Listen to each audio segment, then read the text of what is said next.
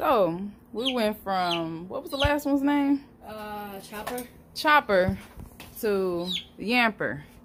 Yeah. This one is a loud one. Hey, Sweetie Bird. Yeah, that's a good nickname.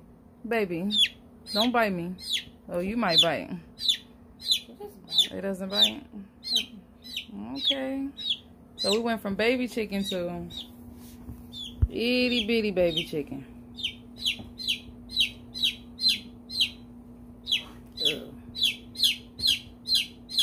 Okay, honey. Oh, heck no.